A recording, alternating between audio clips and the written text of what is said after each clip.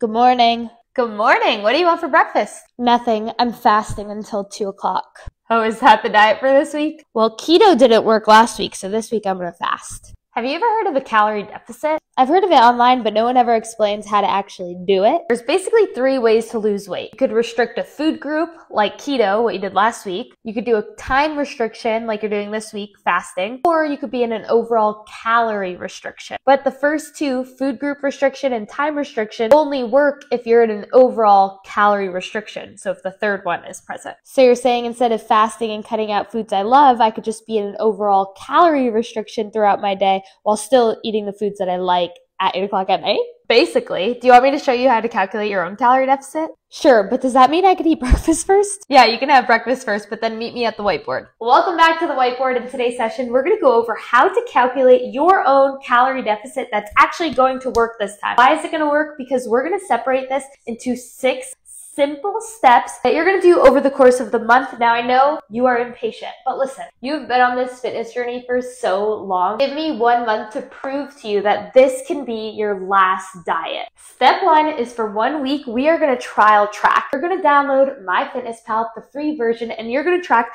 every single thing you eat, even those little bites that you think don't count at night, but they're actually going to count this week to get one week of normal eating. You're not going to change a thing because we can't change what we don't understand. You're going to be a scientist this week and you're going to collect all of this data so we have so much information. Step into the next month to see real progress. Step two, after trial tracking for a week, we're going to do some classic middle school math and whip out our calculators and find the average from your trial period. Adding each of the seven days total calorie intake dividing it by seven. Once you find that number, I want you to write it down and stick it in your back pocket and save it for later. Step number three, which can be done on the same day that you find that average, is going to be finding your TDEE. What the heck is that? Total daily energy expenditure, the amount of calories that you burn throughout the whole day eating, sleeping, farting, burping, fidgeting, working out, all the things. Those are all the calories that you burn throughout the day. And you can use a simple online calculator at tdeecalculator.net. Is the calculation going to be perfect?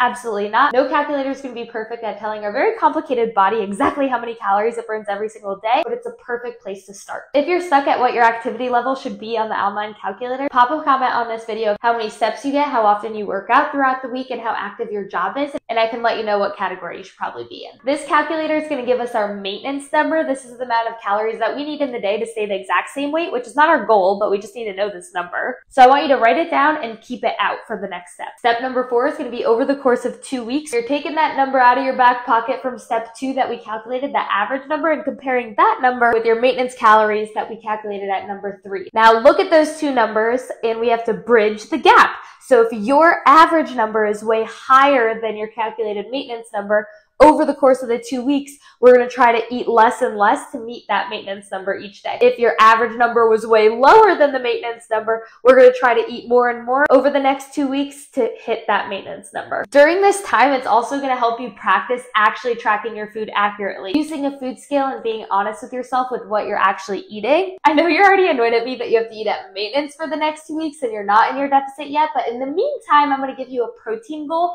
because this is also going to be a huge driver in the progress that you see. For your protein calculation, all you're to do is eat one gram per pound of goal body weight. So if you're 175 pounds and your goal body weight is 145 pounds, you're to try to eat 145 grams of protein. All right, you made it through those two weeks. We're finally at week four and it's time to subtract 300 calories to put you in a real calorie deficit. I want you to stick to that 300 calorie deficit for six weeks before I hear a peep of complaining out of you that this doesn't work. If you do this, you will see and feel and notice changes in the next six weeks. I also have a full calorie deficit 101 podcast. It's called Strong with Julie on Apple and Spotify podcasts. And I hope it helps.